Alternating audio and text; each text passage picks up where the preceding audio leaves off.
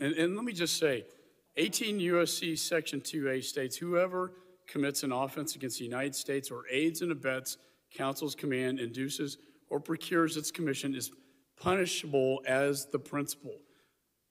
Human trafficking, a criminal enterprise in this country now with people with no legal status, an entire population seven times over to be killed by fentanyls, 12 billion total, 300,000 people dead due to fentanyls.